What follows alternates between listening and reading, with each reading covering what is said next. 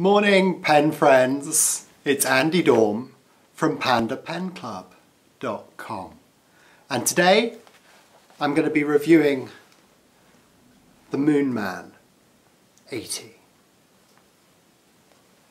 I don't know why, but first impressions of this pen, I immediately thought of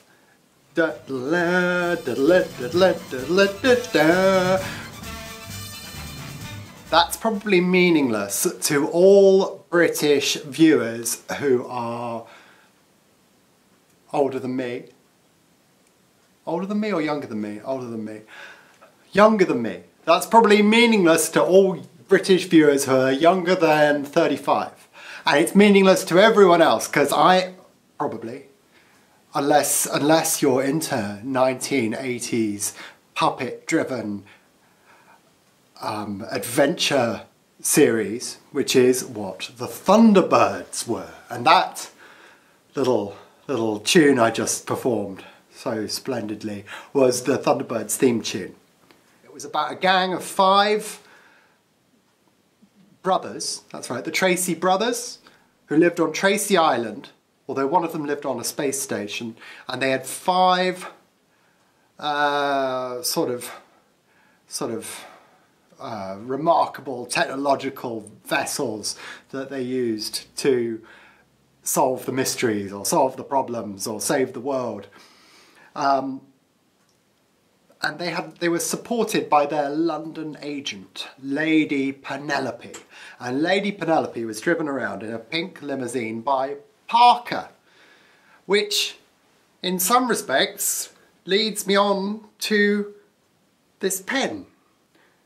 And that wasn't a sort of slick segue I planned in advance actually. That was the shape of this pen is futuristic and cool, but it's not novel. It is an homage, a celebration of, a clone of the Parker 45 the celebrated Parker 45 is now being celebrated in the form of the Moonman 80. The forms of both these pens made me think of Lady Penelope in her elegant limousine zooming around supporting the various Thunderbirds. It's something to do with the elegance and the kind of, I don't know, what kind of spectrum I'd put this on or where I'd put this on the spectrum of is it is it sort of subtle low-key retro or is this hardcore retro? I don't know. The colors are cool. I would call this color that I've got here kind of dainty gray I don't know what it's called actually. I, I can't find anything more interesting than gray so I came up with my own name Mustard green is another fabulous colour that this pen is sold in. Um, the, the whole kind of homage to the Parker 45, uh, clone of the Parker 45 discussion is another interesting spectrum of language that we're using in relation to this pen. Um, Chris Rap 52 as rather fabulously on YouTube. Dismantled one of these, dismantled a Parker 45 and exchanged the parts, which is, well, really cool. And you can exchange most of the parts, it turns out. But it just, it, the, the, the de delicate dances of language that we, that we pen lovers um, fiddle around with is very much in evidence in a pen like this, which is such a, a manifest homage as to be perhaps a clone.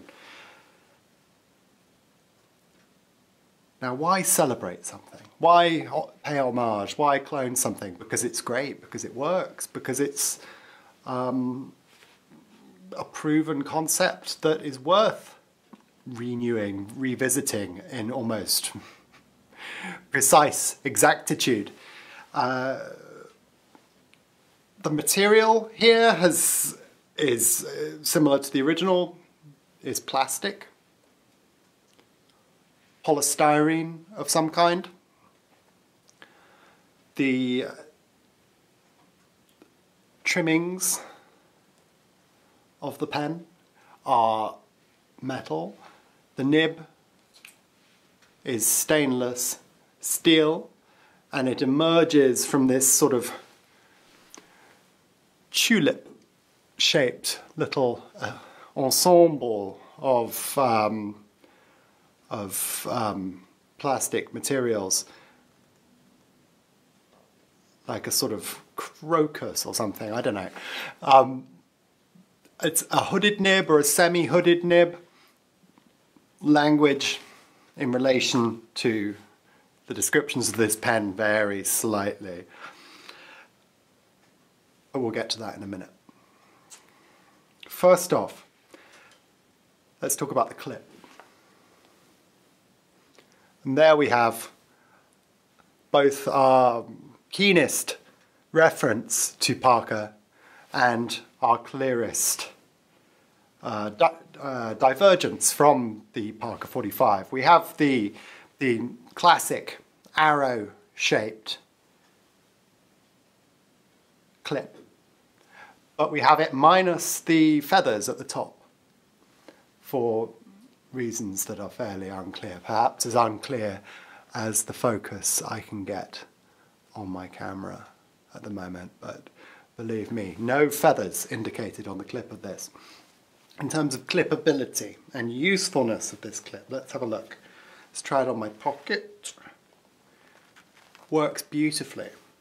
Looks lovely and elegant, almost like a piece of jewellery to wear it in the, in the pocket of a blazer like that. And it um, clips very easily and yet feels quite secure in there. I almost want to hang myself upside down from the rafters to prove it to you. But yeah, it's secure, but not hatefully secure. I can pull it out again, which, which is lovely, which is, um, well, a dream of convenience. That's all you could ask for, really. Um, and that, that, that tightness, that, that sort of yeah, that sort of fit and finish is exemplified throughout the pen, really. Everything is looks and feels well made, well constructed, tightly put together. Which makes Chris Rap 52's YouTube video all the more impressive because he's, he's pulled it all apart. I'm not going to do that in my video. I'm just going to talk about, about the, uh, the kind of non-ravaged version of the pen. So the finial, we have kind of dimples on the top and bottom of the pen, which are nice. They're sort of nice to rest your finger on, to sort of contemplatively count time or something. If you're a member of the Thunderbirds team, perhaps your villain would have this as a sort of detonator for his world exploding device. It feels like that. It feels like something you would press like a button. And again, it's very pleasurable to touch, feel, and turn around in your hands. It's extremely cool looking pen. And the coolness and the tightness is further exemplified by the cap action it's a friction fit, quite quite a tight fit friction fit. I've seen a pair of Reddit users having a little debate over how easy it is to get the, the cap off this pen. And one of them recommends a sort of unique technique where it's much easier to remove the cap with one hand than two. For some people that's possibly true, or some models, but uh, I would say it's just about right in terms of secureness. Difficult to pull off like that without risking the thing flying across the room, which would be disaster. I'd have to edit or something, which I don't really want to do. so, cap. Remove the cap on which you have the, the brand name emblazoned, Moonman. I'm sure I could construct a, another Thunderbirds reference based on, on, the, on, on the, the brand name Moonman, Thunderbird 5 Space Station. Something to do with that, I don't know. The other thing I would point out about the fact that we have Moonman written on the cap there is that, well, this is not a, a fake. There is nothing, there is nothing malignant or malicious about the manufacturer's intent here. They are very clearly paying homage to the original and then stamping their own name on it. At worst, you can call it a, a lazy a lazy copy. I, I don't know what's lazy about this. It's been extremely well put together.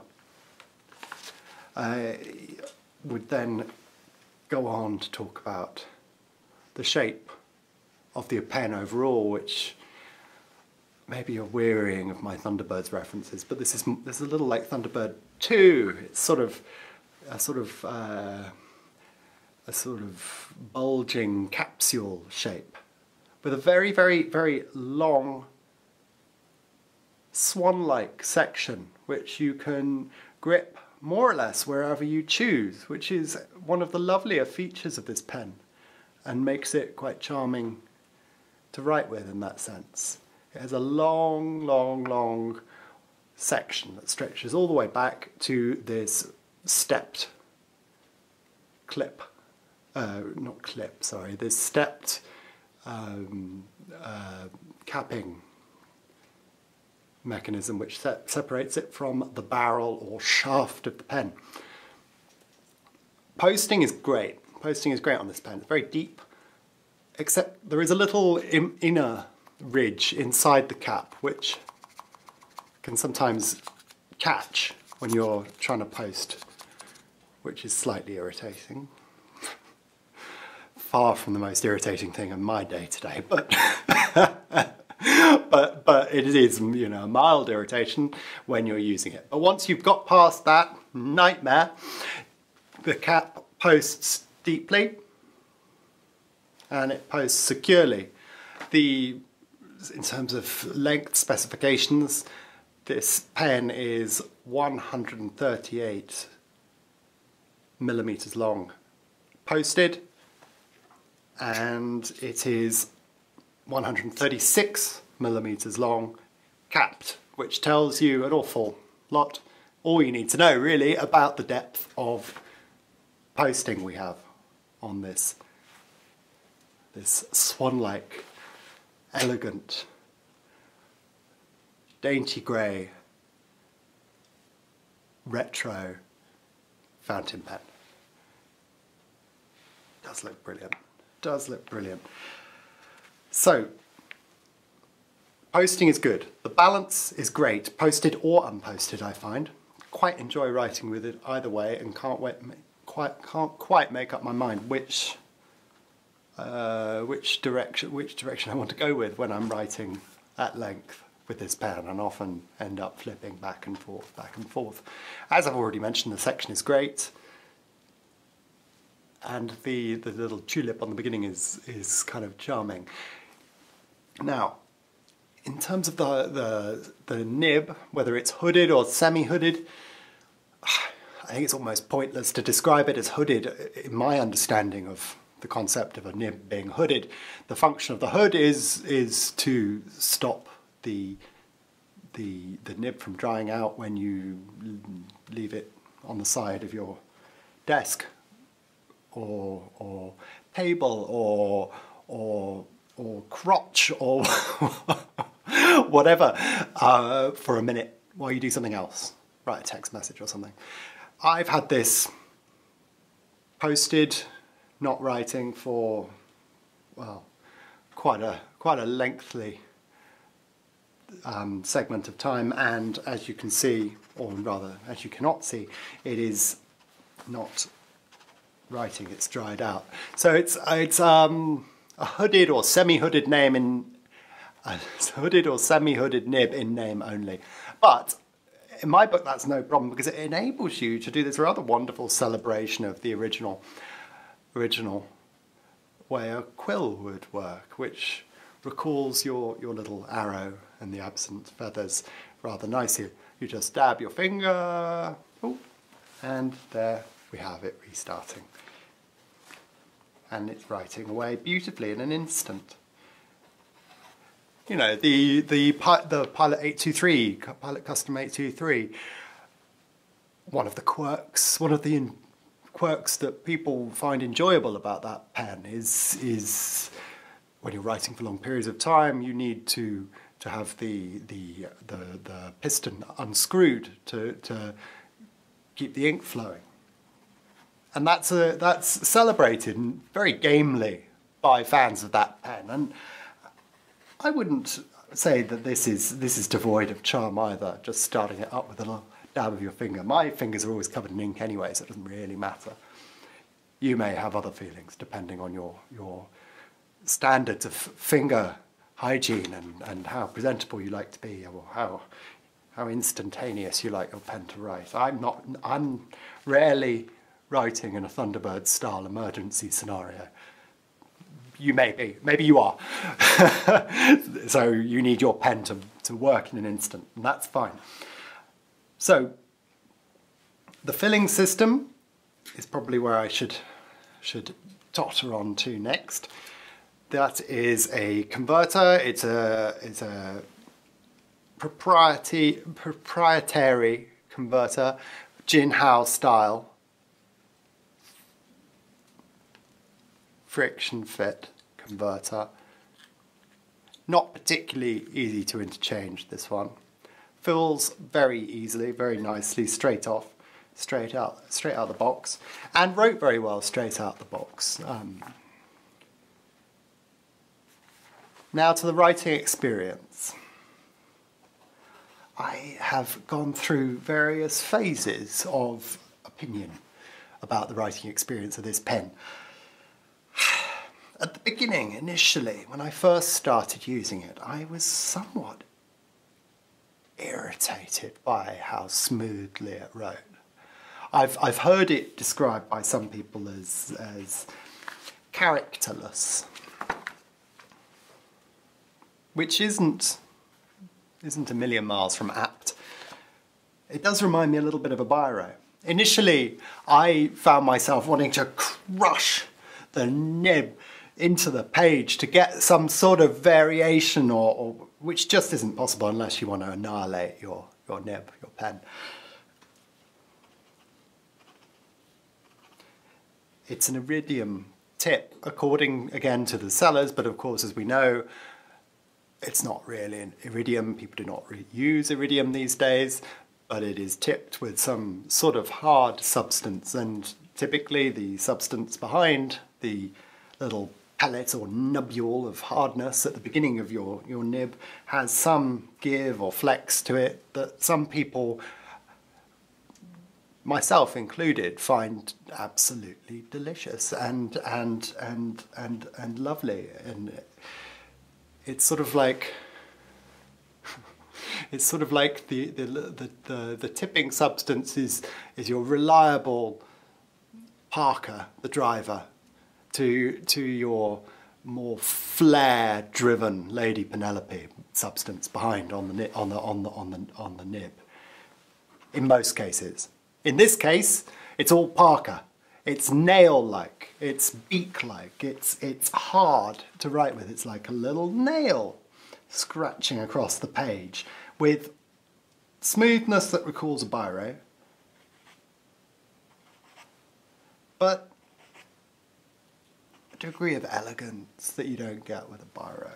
I think a biro really undervalues what you have here. In fact, it's just an, an initial kind of impression. My impressions of writing with this pen improved the more I wrote with it. Particularly when I'm writing carefully, careful and small. This pen is only available in fine tip. So for me that requires me to write carefully if I'm going to be legible at all. If I'm going to write anything that anyone might want to look at, let alone read. As I've mentioned before, it's a bit tricky sometimes. If you've if you left it um, posted, you, you get the odd dryness in there. And it is dry in general. Very little flex. But hand comfort is great. Wonderful pen to write with carefully. A wonderful note-taking pen.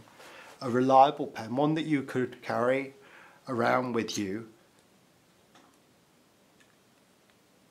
under almost any circumstances and find useful under almost any circumstances really.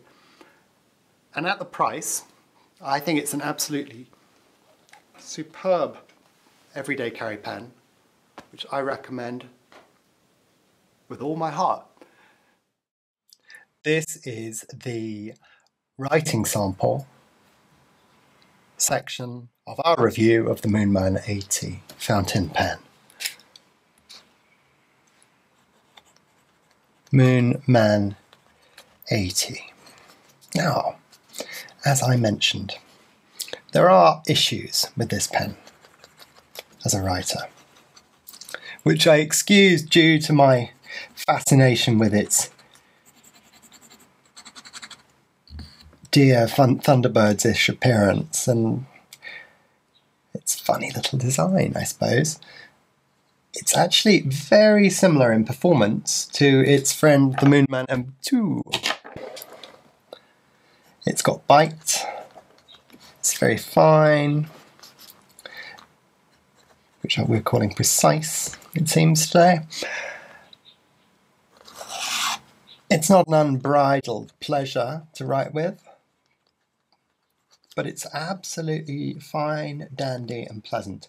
Lovely panda, seeks, jinxed, zebra for quick game of whist. Please don't forget to like or comment or subscribe to the Panda Pen Club channel on youtube.com. Thanks for watching.